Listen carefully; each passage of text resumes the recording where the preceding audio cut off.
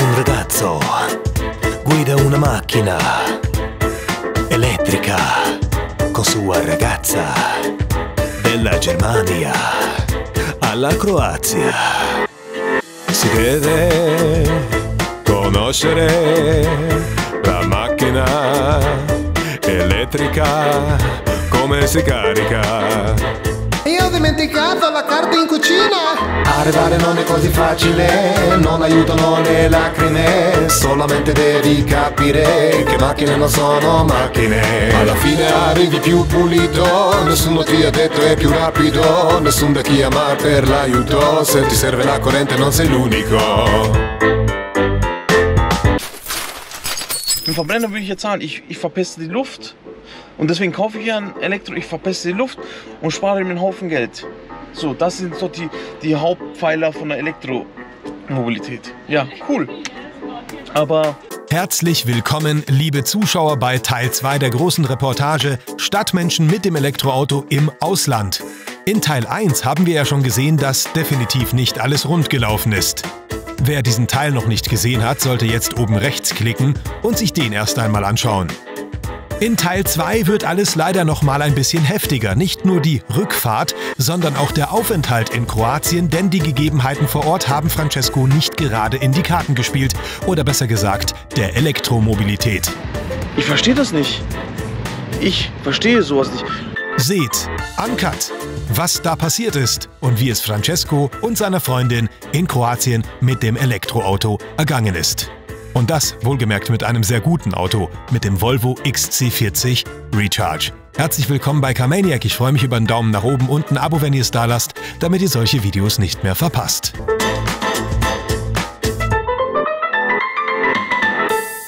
Wir haben ja zu Hause äh, über den Juice Booster geladen. Das war halt mir zu langsam. Weil ich, wenn ich irgendwo hin muss, dann oder etwas weiter fahren muss, weil hier ist man ja auf dem Land, dann ähm, muss ich einfach Kilometer im Wagen haben und es geht hier einfach nicht. So, dann haben wir entschieden einfach, hey, wir fahren in, in die Pampa und zum Laden. Keine Ahnung, wo wir sind, nur damit ihr mal versteht, wo ich bin. Im großen Nirgendwo. Restreichweite, ich habe noch 14%. Also es war knapp. Und das war einfach, ich weiß nicht, warum ich da nicht mitgedacht habe. Ohne Juice Booster bin ich jetzt einfach unterwegs gewesen. So, hey, stell dir vor, ich habe jetzt dann mal Armanda gesagt, wir fahren jetzt dahin und die, die Säule funktioniert nicht. Und ich habe nicht mal den Juice Booster dabei. Das bin ich für eigentlich für einen Vollpfosten. Aber keine Ahnung, man denkt halt nicht daran. Ja, ähm, das ist jetzt so ein Punkt natürlich, da muss man ganz klar differenzieren, wohin fährt man in den Urlaub.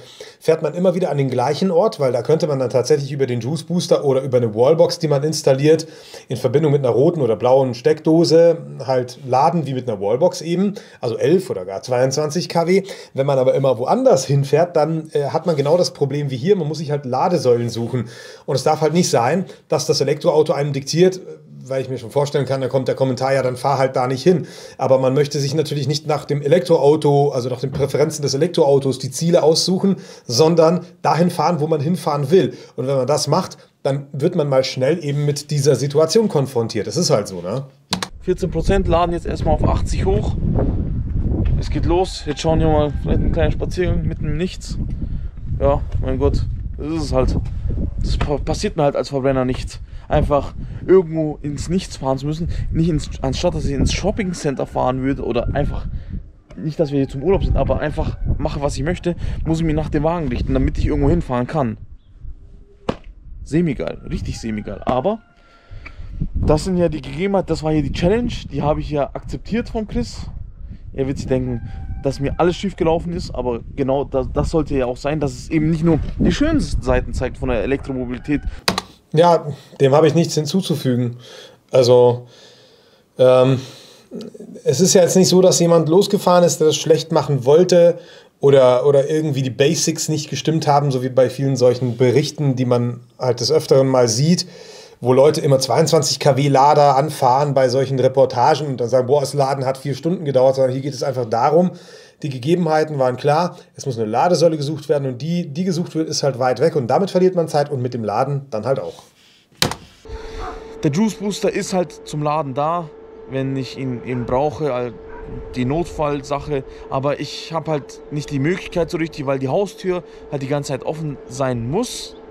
Und ich finde das halt nicht so geil, wenn ich bei meinen Schwiegereltern ähm, die Haustür offen lassen muss, weil, mein, weil der feine Herr aus Deutschland mit dem Elektrowagen ankommt. Das kommt halt auch nicht so gut an.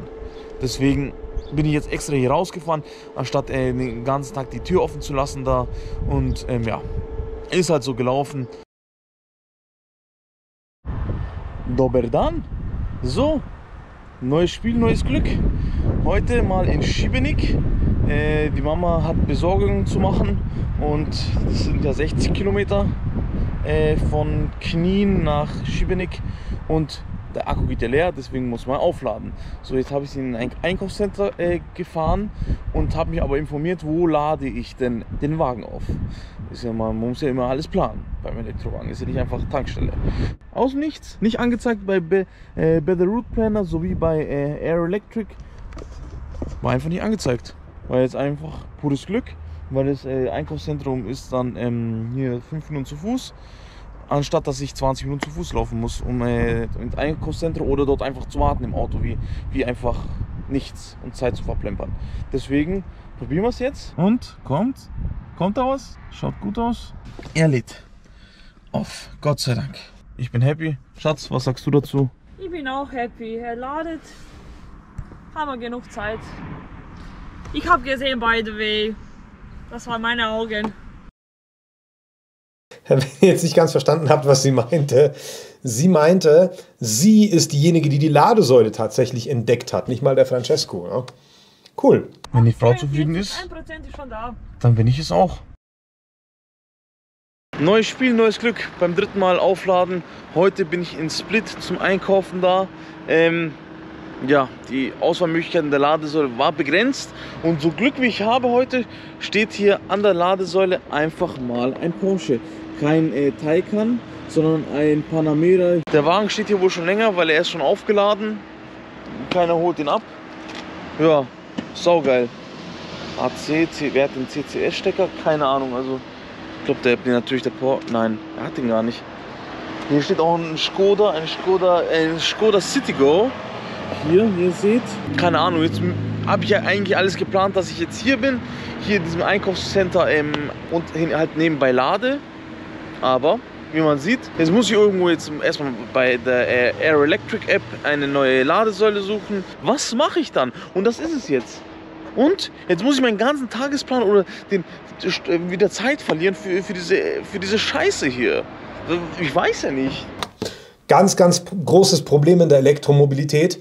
Und das ist auch das, was auch viele Verblendete leider nicht sehen, dass es einen großen Unterschied gibt zwischen Ladesäule und Tankstelle. Und dieser Unterschied ist, das passiert immer. Also entweder von Autos, die laden belegt und dann kannst du halt nicht laden, gut, das ist so. Oder von Autos, die schon geladen haben, aber nicht abgeholt worden sind, wie der Panamera Hybrid oder ähm, von Verbrennern gar zugeparkt. Und das kann halt bei der Tankstelle nicht passieren, weil Tankstellen sind Tankstellen. Elektroauto-Ladeplätze sind aber teilweise auch Parkplätze. Das heißt, tendenziell sind Leute dazu verleitet, den Parkplatz zu nehmen, auch wenn es fürs Elektroauto gedacht ist.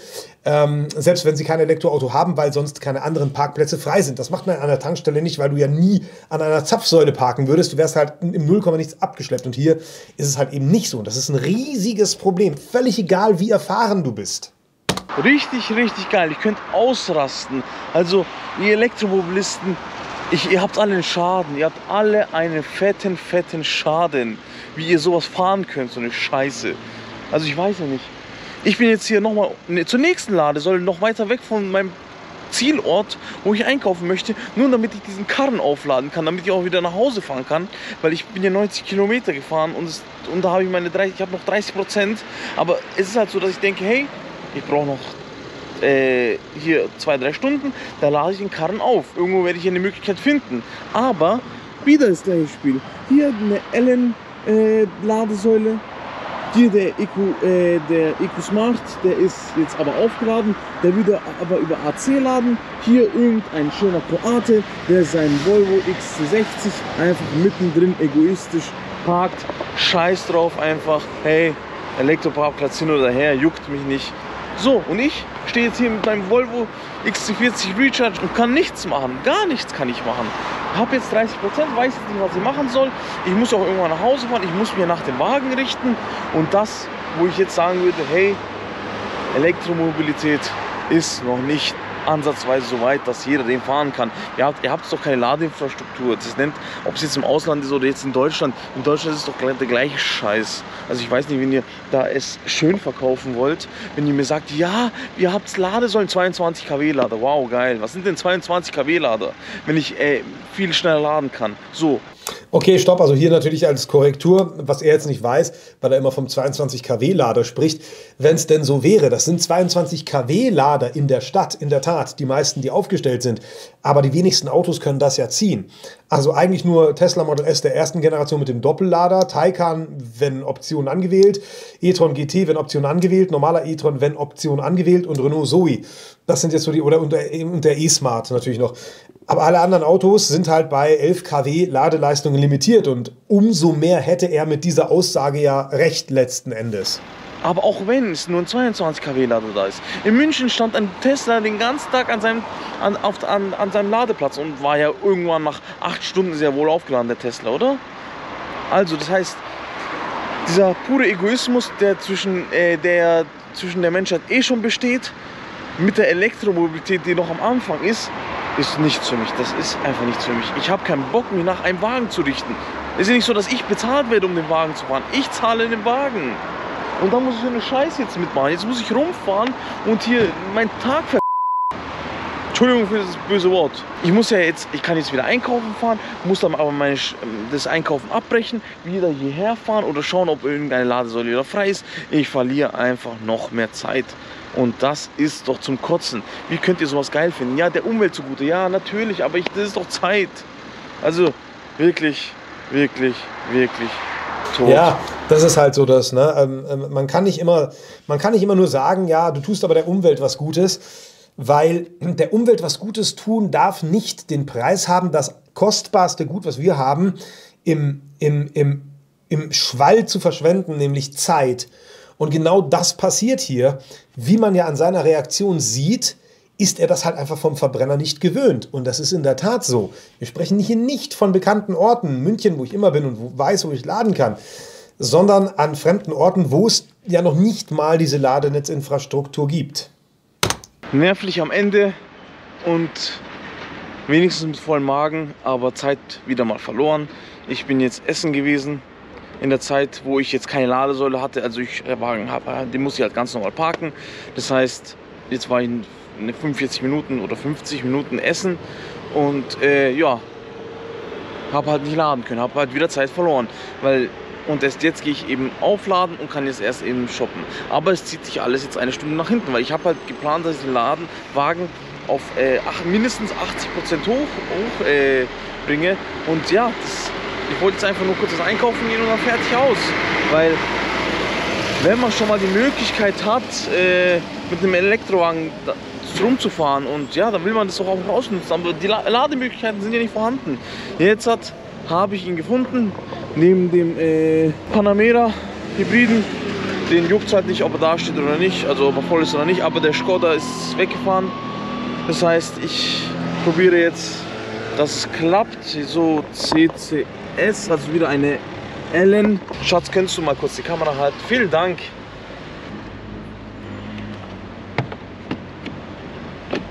Ich bin einfach nur genervt. Ich bin einfach, es, es fuckt mich sowas hart ab. Ich verstehe sowas einfach, einfach nicht. Weil wie kann das sein, dass ich mich nach dem, nach einem Auto richten muss? Ist ja nicht, dass es ähm, von äh, Knight Rider the Kid ist, dass er sagt, hey, du darfst nicht dahin fahren. Hey, du darfst sie nicht umbringen. Auf jeden Fall CCS müsste starten. Na, weiß jetzt nicht. Aufladen wird initialisiert. 40 Prozent, doch nicht 30 Prozent, habe ich mich vertan. Also eineinhalb Stunden, ja. Ich wollte jetzt eigentlich nur kurz was einkaufen gehen. Es ist ja nicht so, dass ich jetzt ähm, zu der heutigen Zeit jetzt einfach rumspazieren möchte. Nur, dass wir das mal klarstellen.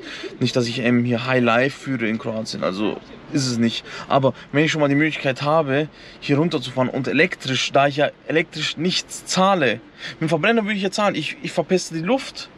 Und deswegen kaufe ich ja ein Elektro, ich verpeste die Luft und spare mir einen Haufen Geld. So, das sind so die, die Hauptpfeiler von der Elektromobilität. Ja, cool.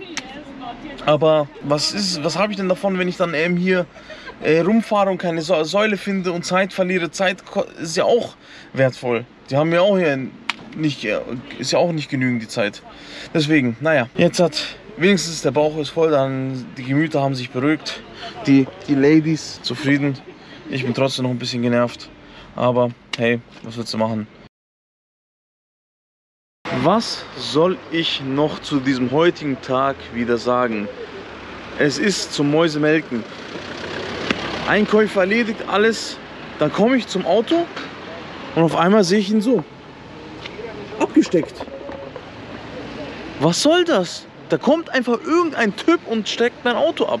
Wie kann das sein? Also Gott sei Dank war er bei 97 Prozent. Aber was erlaubt er sich, den Wagen einfach abzustecken? Ich verstehe das nicht. Ich verstehe sowas nicht. Wer hätte jetzt, wäre das ein richtiges Arschloch gewesen, hätte bei 50 Prozent und ich wäre jetzt einfach, hätte mich darauf verlassen, hätte gesagt, ah, ich komme jetzt endlich zurück, hey, muss jetzt wieder heimfahren, 30 Prozent gehen eh wieder flöten vom Akku und dann komme ich her, auf einmal ist der Wagen bei 50 Prozent und da war alles für umsonst, weil einfach der Wagen abgesteckt wird. Was ist da los? Also, das ist halt diese Unmenschlichkeit, die eh schon vorhanden ist, abgesehen von der Elektromobilität. Und dann einfach das hier. Glück gehabt, 97 Prozent, aber bitte, was ist denn das? Auch noch Kindergartengeschichten hier mitten auf der Straße. Also. Und wie man rechts an der Ladesäule sieht, ist tatsächlich sogar noch ein Verbrenner, der da parkt. Also mal wieder von einem Verbrenner zugeparkt. Und Nummer zwei ist, äh, das Abstecken. Ich, ich, sehe hier keinen triftigen Grund, weil da ist kein anderes Elektroauto, das vielleicht gesehen hat, okay, das ist bei 97 Prozent, ich kann anstecken, geht ja. Ne? Deswegen kann man ja auch einstellen, äh, Ladekabel nach Ladevorgang entriegeln. Im Auto kann man das einstellen. Aber da ist ja kein Elektroauto. Also er wurde vollkommen grundlos letzten Endes abgesteckt. Richtig scheiße. Das ist halt absolutes No-Go. Absolutes No-Go, dass man einfach den Wagen absteckt und ja, so gesehen hätte es auch in die Hose gehen können und ich hätte einfach nur 50 Prozent. Also wieder, wieder ein dicker, dicker Minuspunkt. Es fängt schon mal wieder äh, ganz suppig an. Äh, wir fahren jetzt seit einer halben Stunde und äh, sind jetzt 48 Kilometer gefahren, haben einen Verbrauch von 36 Kilowattstunden und eine Temperatur von minus 3 Grad. Ich habe natürlich wie Christian Videos gesehen, sonst würde er mich ja umbringen, wenn ich das nicht tun würde. Nein, Spaß. Es interessiert mich ja auch, was er macht. Ähm, gestartet habe ich ähm, die Navigation, dass äh, mit 13% komme ich bei der Ladesäule an. Jetzt Schatz, film mal dahin, mit wie viel Prozent ich da ankomme. 1%. Ähm, geil. Also ich denke mal, ihr habt auch sicherlich den, äh, das Video vom äh, Mazda MX-30 gesehen, wo wir versucht haben, ihn leer zu fahren. Ich habe ja gesehen, ja, mit 0% kann man immer noch weiterfahren. Von daher ist es kein Problem. Aber ich möchte nicht herausfordern. Und geplant war, ich komme mit 13% an, jetzt sehe ich da 1%. Es ist wie beim, beim Samsung oder beim, beim iPhone. Man hat das Handy 60 Sekunden in der Hand, auf einmal sind 2% weg. Und das gleiche ist ja hier beim Auto jetzt. Ich weiß, es ist die Temperatur, und, aber trotzdem, ich kann ja nicht wissen, hey, wie viel Grad haben wir? Also doch, aber ich kann es ja trotzdem nicht beeinflussen. Ich muss an dem Tag fahren, ist es geplant, wie das Wetter spielt oder nicht. Und das ist halt die, Strecke, das ist der Plan, der, der Routenplan. Was soll ich jetzt machen? Keine Ahnung, was jetzt ist. Christopher schläft noch, es ist 7.30 Uhr. Jetzt kommt er schon wieder mit diesem Christopher schläft noch. Checkt er nicht, dass ich in der Früh schon wach bin? Der ist geil. Er wird mich anrufen und hoffentlich eines Besseren belehren und mal schauen, was passiert. Diese Scheiße, diese Scheiße einfach nur. Also wirklich, ich schaffe, wir haben hier noch, ich habe noch 146 Kilometer zu fahren, 87, also ich schaffe nicht mal was sind es, 250 Kilometer, weil ich mit 0 Kilometer ankomme. Es ist doch zum diese Routen hier zum Fahren. Es ist äh, wirklich, mit 0 Kilometer komme ich da an. Jetzt muss ich wieder zwischenhalten, weil mein Plan wieder nicht aufgeht. Also wirklich, also ich weiß nicht, wie ihr das geil finden könnt. Jetzt muss ich hier bei dem 50 kW Lader kurz mal wieder zwischenhalten, dass ich mit meinen an den Schnelllader ankomme, da zwischenladen. Es war nicht im Plan, es ist nicht im Plan. Es ist einfach alles für die Katz. Es ist alles für die Katz. Geil, einfach nur geil, geil, geil. Wie könnt ihr nur gern im Elektro fahren, wenn diese Scheiße ständig leer geht? Wirklich. Hier starten wir die Scheiße. Macht es euch geil. Hier jetzt ständig zu halten, euch, ihr Elektromobilisten. Hier. Geil, einfach nur geil. Die Kälte spielt eine Rolle. Ich bin doch kein Wetterfrosch. Was soll ich machen? Ich kann doch nicht alles hier berechnen und planen. Es ist ja schon genug, dass ich mich hier den Kopf auch, äh, kaputt planen muss. Wirklich. Also jetzt bei 0% komme ich ja an meine gewünschte Ladesäule komme ich ja nicht an. Jetzt muss ich warten und nochmal 10% nachladen und nochmal Zeit verlieren. Einfach nur, uh, es ist ja nicht so, dass ich einen Zeitdruck habe und äh, ankommen muss wegen dem Scheiß-Test, was ich machen muss. Geil, geil. Elektrowagen. Dass ich nach einer Stunde 20 Minuten schon Pause machen muss, um meine 10% hier nochmal aufzuladen, wo ich jetzt eigentlich schon bei 10% bin, aber der Wagen zeigt mir 8%, mit 8% komme ich an. Reichen mir diese 8%, haut er sie mir wieder runter, weil es waren ja geplant, dass ich mit 13% von vom, von zu Hause eben von, von, mein, von meinen Schwiegereltern bis zur Lade mit 13% ankomme. Auf einmal zeigt er mir 0 an. So, kann ich diesen Wagen jetzt vertrauen, dass ich mit diesen 8% ankomme? Kann ich es nicht, diesem Wagen nicht vertrauen? Ich habe 10% geladen.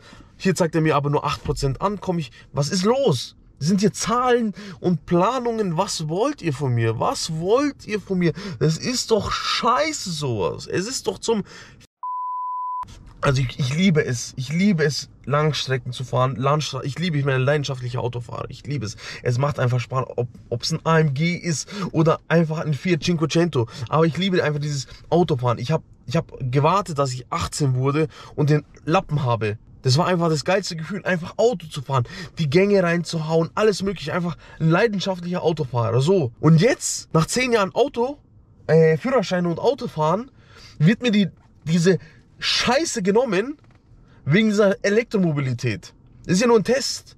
Aber man soll mich ja davon überzeugen, dass ich das fahren soll. Was? Also ich weiß ja nicht. Welche Argumente kann mir die Elektromobilität jetzt bieten, dass ich hier ähm, mir einen Elektrowagen kaufe? Jetzt steht bei mir ja der, Elektro, äh, der Elektrowagen, sage ich. Scheiß drauf, Elektrowagen. Ein Autokauf an. Vielleicht tendiere ich ja zum Plug-in-Hybriden für die Stadt. Okay. Und wenn ihr ein Problem damit habt, ist mir egal. Aber das würde ich mir ja noch eingehen. Aber ich kaufe doch keinen Elektrowagen, Elektrowagen rein. Auf Langstrecke oder auch für die Stadt. Für die Stadt ist so ein kleiner, ein kleiner, ja, aber der Wagen hier, den ich fahre, kostet 72.000 Euro. 72.000 Euros. Das ist kein, kein, kein, kein Nutella-Glas, was ich mir kaufe. Weiß nicht. Was soll ich dazu sagen? Soll ich jetzt warten, jetzt hier auf meine, reichen mit 10%, weil das ist jetzt wie wirklich die Ladesäule und dann kommt, die nächsten 146 Kilometer kommt keine Ladesäule. So, was soll ich jetzt machen? Soll ich jetzt noch ein bisschen warten? Soll ich noch mehr Zeit verhauen und einfach nicht ankommen? Einfach auf der Autobahn chillen wie so ein, ein Weiß nicht. Also, ich frage an euch, wie kann euch das Spaß machen als ähm, nicht Auto, äh, Stadtfahrer, sondern als Langstreckenfahrer. Also Chris hat ja den e-tron, okay, da hast du ja 350 Kilometer, glaube ich, aber die restlichen Autos, es gibt ja Leute, die Langstrecke fahren. Wie kann euch das Spaß machen? Wie kann das euch Spaß machen, ständig rumzuhalten? Habt ihr zu viel Lebenszeit? Weiß nicht, schreibt halt in die Kommentare, was ihr zu dieser Frage sagt, die auch berechtigt ist. Habt ihr zu viel Lebenszeit? Weil letzten Endes zusammengerechnet die Hinfahrt 13 Stunden für 800 Kilometer ist wirklich eine Katastrophe. Und wir haben ja gesehen in Teil 1, dass er irgendwie nicht, er ist ja, er hat es ja nicht so gemacht wie Ahmad, der dann irgendwie zu schnell fährt, sondern er ist ja dort, er hält sich an die, an die Geschwindigkeitsbegrenzungen, ähm, er hangelt sich von Ladesäule zu Ladesäule. Also ich habe hier bisher ehrlich gesagt keine wirkliche Anwenderfehler gefunden. Er hat immer bis 80 Prozent geladen und ist dann gerade so zur nächsten Ladesäule gekommen und zwischendrin hätte es ja keine gegeben, so wirklich, äh, mangels Ladenetzinfrastruktur. Also es ist schon eine berechtigte Frage zu sagen, habt ihr eigentlich äh, zu viel Lebenszeit? Rufen wir mal einfach den Chris an. Vielleicht ist er ja schon wach um 8.30 Uhr. Nein, ist er noch nicht. Danke, lieber Christopher. Danke. Kurz nochmal ein kurzes Update. Ähm, Verbrenner-Elektro-Differenz. So, damit wir, wir sind ja um 7, äh, 6.50 Uhr losgefahren, mussten jetzt schon 15 Minuten halten. Also da nochmal 15 Minuten gefahren und nur damit ihr den Vergleich seht zwischen Elektro und Verbrenner. Wegen Elektro, ich weiß ja nicht, wann ich ankomme, aber damit ihr das seht auf, auf einem normalen Navi, auf einem TomTom, habt ihr hier rechts unten, rechts unten 15.07 Uhr Ankunftszeit. 15.07 Uhr, okay? So, ähm, dazu, also 15 Minuten früher, also werden wir, sagen wir 15 Uhr, normale äh, Ankunft, aber natürlich hält auch ein Verbrenner, also eine halbe Stunde kann man ja halten bei einer Strecke von 750 Kilometer. Ich muss ja nicht alle 200 Kilometer halten. Ich weiß nicht, ob jeder alle 200 Kilometer hält. Also heißt das, um 15.30 Uhr als Verbrenner wäre doch möglich. So, 15.30 Uhr halten wir mal fest. Nach der Hinfahrt bin ich richtig von der die Elektrowelt. Deswegen mal schauen, wie wir die zurückfahrt und so. Aber drück mal die Daumen, bleib mal positiv. Was sagst du, Schatz? Positiv, ja genau, ich bin auch positiv. Also ich musste mich ja schon mal wieder äh, vororganisieren und vorplanen. Heißt, wieder die Routen planen und habe jetzt den Fehler entdeckt bei der Hinfahrt. Es ging nämlich darum, ich musste eine Grenze nehmen, die das Google Navi mir einfach nicht angezeigt hat. Ich habe meinen äh, kroatischen Schwager gefragt, diesmal nicht den Chris, sondern meinen kroatischen Schwager und habe ihn halt gefragt, hey, welche Grenze bist du denn gefahren? Ja, die und die. Aha. Und dann war der Better Route Planner, hat es mir dann nämlich richtig gezeigt. Nur das Google Navi nicht. Das heißt, das Google Navi hat mich einfach falsch geschickt. Aber ich kann mich halt, ich kann halt leider nicht Handy und 130 fahren. Ich will mich nicht in den Tod fahren. Ich muss nach dem Navi fahren. Und wenn das Navi sagt, hey, fahr da lang, dann fahre ich halt da lang. Und dass es mich nicht in die, mitten in die Prärie schickt von Slowenien, darauf habe ich halt keinen Bock. Und ich fahre halt nach Navi. So. Deswegen, jetzt weiß ich es, wie es richtig laufen sollte. Sollte. Sollte. Aber Mal schauen. Mal schauen, was passiert. Also wäre doch ein Spaß, ein richtiger Spaß, wenn das eben nicht so läuft. Aber das werdet ihr ja dann erfahren. Ja, weil sag mal, sei mal ehrlich, noch kurz mit Elektroauto kann man überhaupt nicht planen und so. Also es ist, Es wenn ist du genug. Zeit hast für dein Leben, dann fahr Elektro. Wenn du nicht Zeit hast, dann, dann, dann hol den am besten C63 AMG, damit du brettern kannst. Nein, natürlich immer geschwindigkeitsregelkonform, aber trotz alledem, hey, das ist halt auch nicht so das, das Gelbe vom Ei. Aber stay tuned. Da ruft mich doch der Chris endlich mal an. Guten Morgen, Schwagerlein. Ja, schön, dass du so gut gelaunt bist. Gut gelaunt. Sei froh, dass Ja. du mein Schwager bist, sonst ich würde dich verklagen auf, auf jeden Cent. Jetzt bin ich auch noch falsch gefahren. Wieso? Ach, Christopher, ich weiß nicht, wen du verarschen oder wen ihr alle verarschen wollt hier. Ähm, wie komme ich denn hier rein? Was denn? Warte mal kurz, ich bin jetzt. Ach, Christoph, einen Moment. Ich bin jetzt hier auf der. Ich muss hier auf die Lade. Ich muss zur Ladesäule fahren. Aber wie komme ich denn zur Ladesäule? Nein! Habe ich mich verfahren oder was? Nein! Wie komme ich denn da jetzt hin noch zur Schnellladesäule? Warte, Christopher, ich rufe dich gleich an. Ich muss jetzt hier. Ähm. Ja, Äh, ja, mach, mach, mach, mach. bis gleich, tschüss. Ja. Ciao. Wie komme ich denn jetzt darüber? Okay, gut. Ist super. Ich schwör, ich raste heute noch aus. Was? Ich will doch. Da ist eine 50 kW Ladesäule links vor mir und auf der anderen Seite, irgendwo da hinten im Eck, äh, weil ich gegoogelt habe, äh, ist der, der Schnelllader, aber wie komme ich da rüber? Wie komme ich denn da rüber jetzt? Oh Gottes Willen, Jesus Maria. Es ist zum Mäusemelken. Dass wir einfach irgendwo hinfahren. Es ist doch zum Mäusemelken. Also, was soll ich Ihnen dazu sagen? Schau mal an. Ich muss jetzt hier irgendwas hier zusammenfahren. Und ja, um an, an diese Ladesäule zu kommen. Schau mal an. Also, das ist ja, was ich gerade mache, ist ja äh, unerlaubt. Aber es ist mir scheißegal. Äh, ja, genau. Mama hier den Volvo schmutzig. Ja, äh, was soll ich sagen? Ich habe jetzt irgendwas Radikales gemacht, aber um an die Ladesäule zu kommen, gibt es halt radikale Sachen. Keine Ahnung, die Leute schauen mich schon an, warum ich jetzt von hier komme. Aber das ist mir scheißegal. Und die Ladesäule ist nicht besetzt. Mal schauen, ob sie jetzt wirklich lädt. Wieder eine Ellen. Also hier ist wohl diese Firma Ellen sehr bekannt. So, dann einmal hier runter mit dem. Ich glaube, der hier. Genau. Dann muss man, muss man hier einfach Start drücken oder Combo. Aha, da will er die Ladekarte natürlich. Also auf 55 kW ist gratis laden. Und darüber hinaus ist der Rest eben teurer. Es funktioniert hoffentlich. Ich bin jetzt hier und er lädt. Er baut auf. Es wird interessant, ob es wirklich schnell laden ist.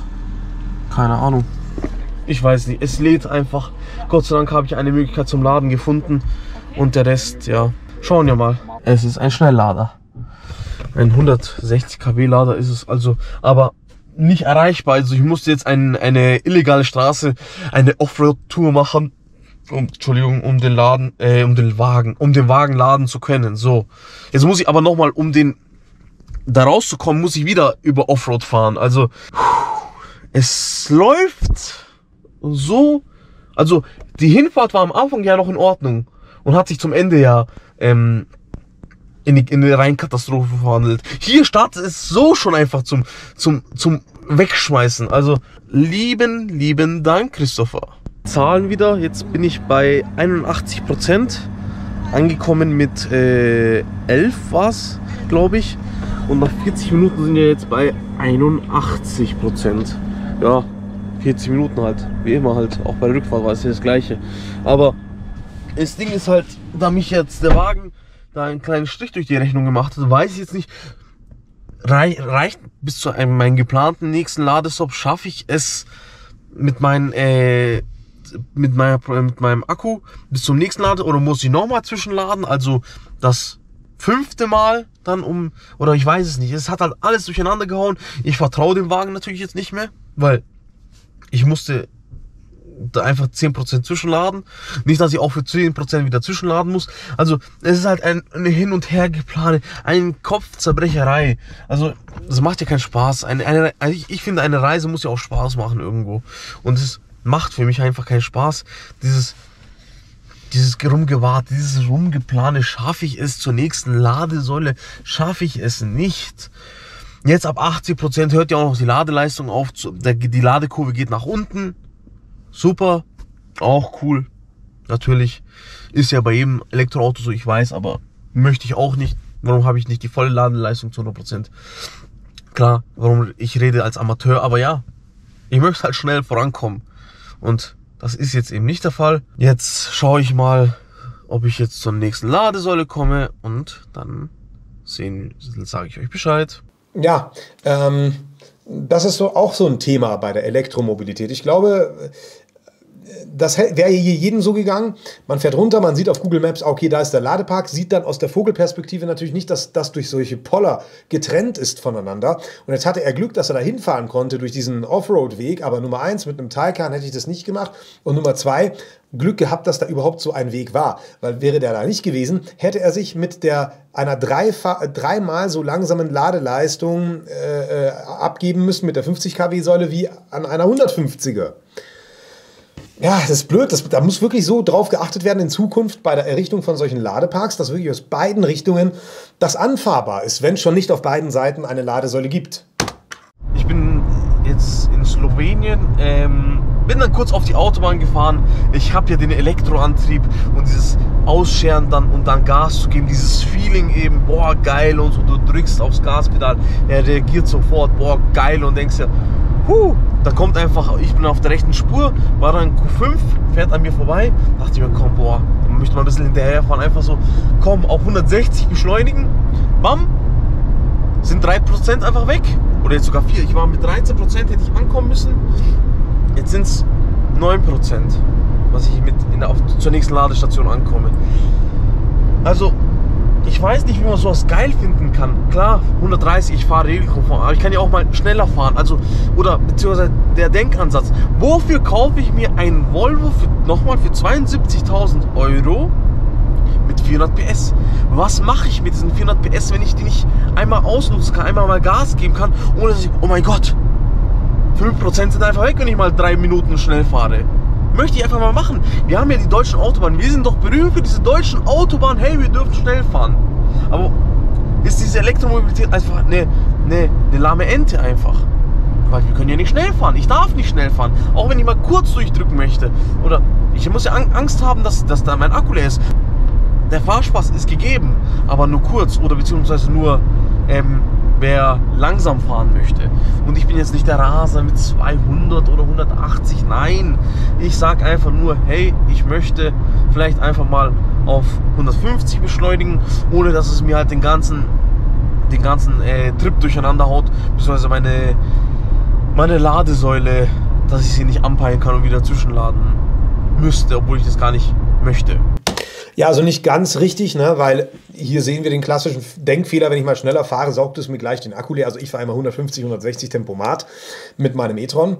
Äh, und äh, das ist nicht der Punkt. Der, der Punkt ist der, man muss halt wissen, wie weit man dann kommt. Wo er allerdings recht hat, ist, dass man diese Power ja gar nicht so wirklich nutzen kann. Vorausgesetzt, wir reden über den Betrieb auf deutschen Autobahnen. Denn fährst du 160, kommst du viel, viel weniger weit als mit 120 beim Elektroauto, weil irgendwann steigt der Verbrauch im Quadrat.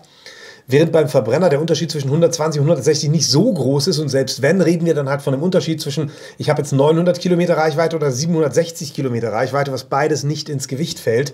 Hier aber kriegt man halt sehr schnell die Quittung, weil man von 260 Kilometer, wenn überhaupt, runterrutscht auf vielleicht 190 und dann eben die Ladesäule nicht mehr schafft. Also das Auto bevormundet einen in der Reisegeschwindigkeit.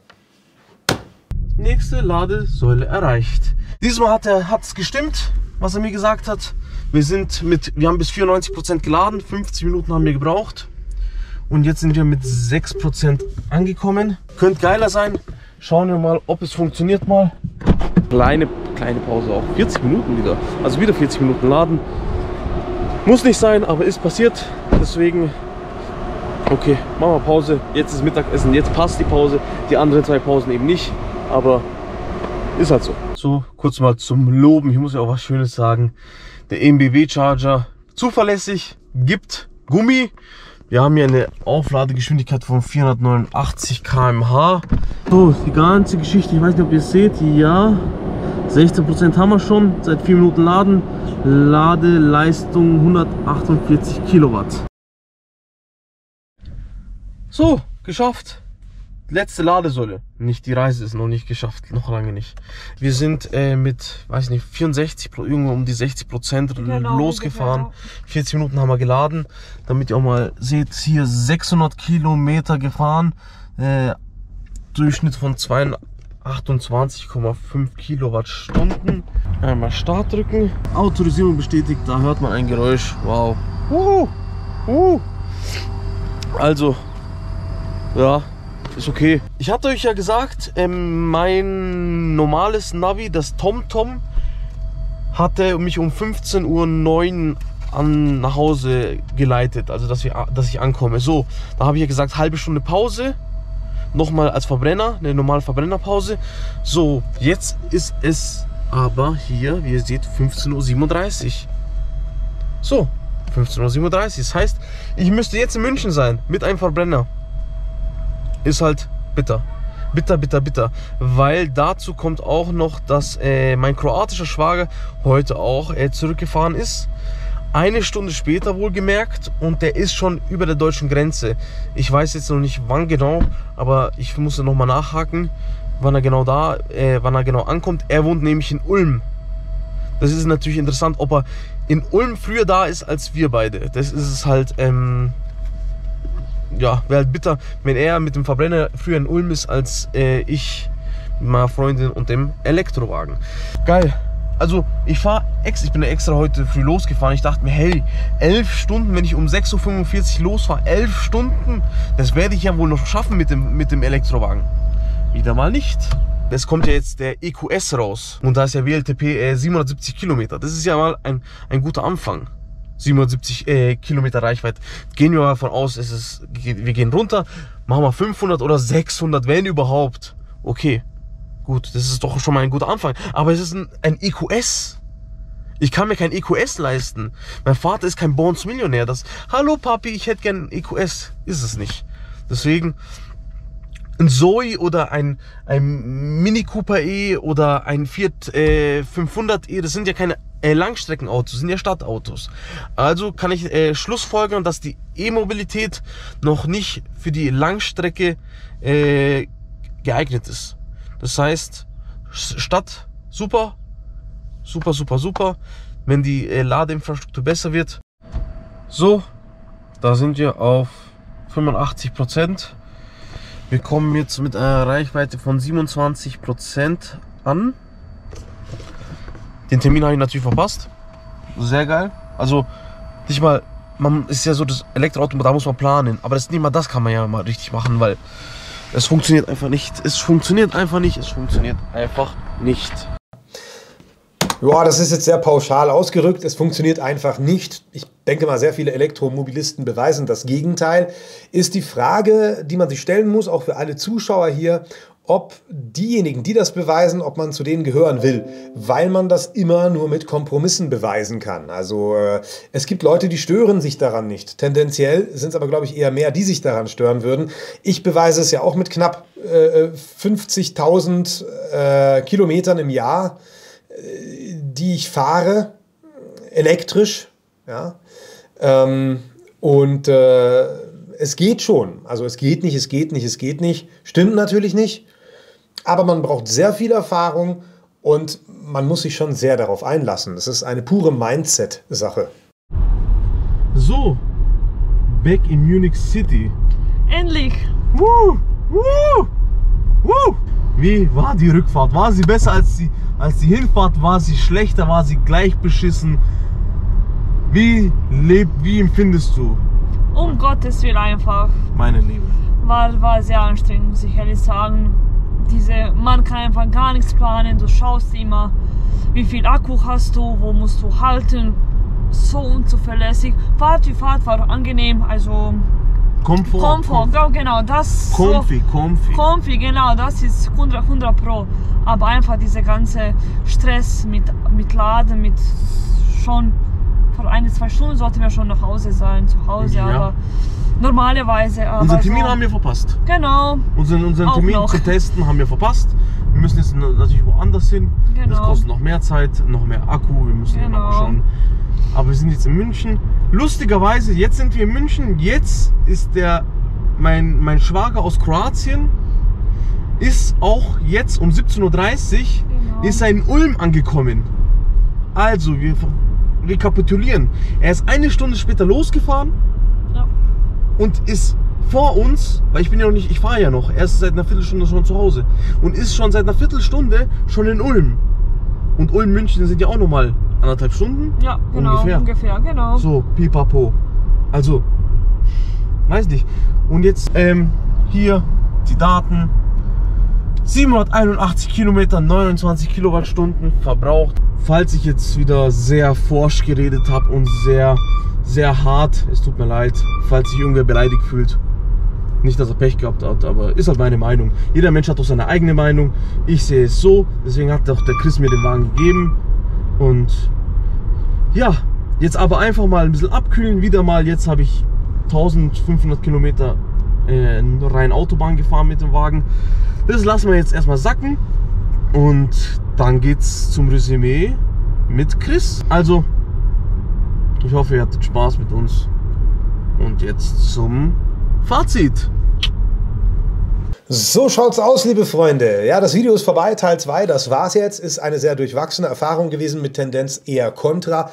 Wie wir gesehen haben, mit weniger Benutzerfehlern, als ich eigentlich dachte, muss ich ganz ehrlich sagen. Aber jetzt seid ihr gefragt.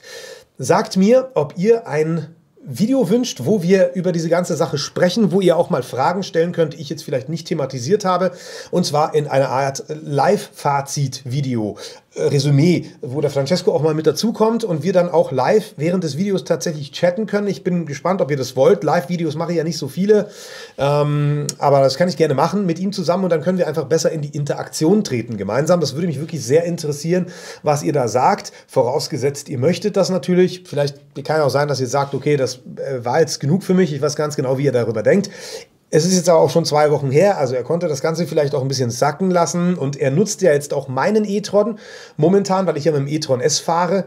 Ähm, ich fahre jetzt ein e-tron S von meinem Freund äh, Andy von LED Technics Germany, äh, weil er den abgegeben hat. Ich habe ihn übernommen im Leasing und jetzt fährt der Francesco mit meinem e-tron gerade rum und vielleicht hat ihn das ein bisschen positiver gepolt. Wäre auch, denke ich mal, genau deswegen umso interessanter, ihn mal zu fragen, wie es jetzt aussieht, weil er jetzt auch die Elektromobilität abseits von der Reiserei kennt, wie es so im Alltag ist, wo er sich ja 90 Prozent bewegt, im Alltag einfach. Und da ähm, könnten wir ihn ja gemeinsam fragen, wie er es jetzt sieht, welche Zukunft sieht er dann, wie, wie beeinflusst das jetzt seinen Autokauf, der gerade echt aktuell noch ansteht. Also sagt es mir gerne in den Kommentaren, ob ihr so ein Live-Fazit-Video haben möchtet. Ich bedanke mich ganz herzlich für eure Aufmerksamkeit bei diesen zwei langen Videos, die, denke ich mal, sehr viel über die Elektromobilität gezeigt haben, wie sie auch teilweise nicht funktionieren kann und ich glaube auch berechtigt. Ich möchte hier nichts bashen. Ich zeige nur die Realität und weiß natürlich, dass das vielen nicht gefällt. Denen es aber gefällt, bei denen freue ich mich natürlich über einen Daumen nach oben und über ein Abo, wenn ihr es da lasst, denn dann verpasst ihr garantiert kein Video mehr. Ciao und Servus hier bei Kameniak.